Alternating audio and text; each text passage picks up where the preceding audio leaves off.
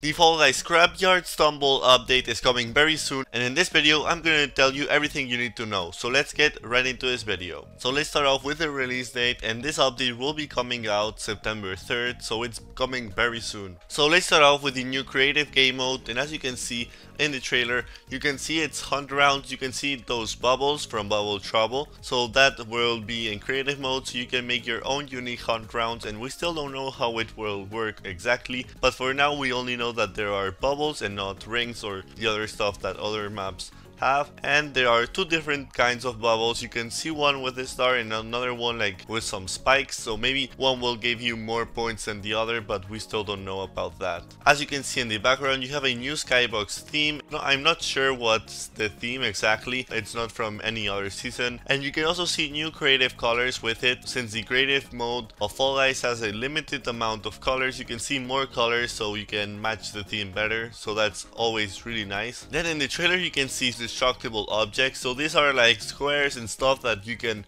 destruct with the destructible objects. We also have physics, so not only there are physics in the destructible objects, but you can also see in the trailer some blocks falling down, and you can also see some different objects falling down, and it's really cool to see this physics incorporated, as you can see with uh, different power-ups, blast balls, and probably pushing it as well with many Fall Guys. You can probably knock it down some objects and they will have its own physics. Next up we have a new Fall Guys power up. As you can see we have the rubber chicken. I already talked about it in a previous video when it was leaked but as you can see here you can see more gameplay and it also makes more sense now since it's incorporated with the physics options. Then we will also have in this update some new obstacles and decorations. If you look closely in the trailer you will see some drones and different obstacles and stuff that are not currently in creative mode and it's really interesting to see. They don't do too much stuff, but for what we can see, they could be or a decoration or a new obstacle, which is always really nice to have. Then also with all of these new incorporations in Fall Guys creative mode, Fall Guys will be doing some new levels and probably some also with it a new game mode where you can play all of the new Fall Guys levels.